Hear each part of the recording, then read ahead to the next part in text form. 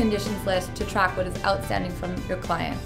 You send them an email with a link to the client portal where they simply click through to upload all their outstanding documents. It's secure and ensures that they don't have to send their documents over email. The old way of creating a conditions list was to go through and add each condition manually every time. Feel free to do this if this is what you prefer to do. We recommend that you automate your conditions list by setting pre-selected filters called Smart Conditions. For information on how to do this, see the Smart Conditions video. To add conditions, click Add or Upload Conditions. Select the condition from the drop-down menu.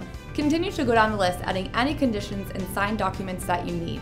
For example, MPP, signed commitment letter, pay stub. Once you're done, you can click Close. Expand any of these conditions to add descriptions or choose which customer each one is for. Here you can add internal notes for you or your colleagues or assistant. And here you can add external notes for your client. If you already have the documents, just click Upload to attach them. In advanced training for the SMART conditions, we'll show you how to make external and internal notes that you can pre-fill with explanations for your clients.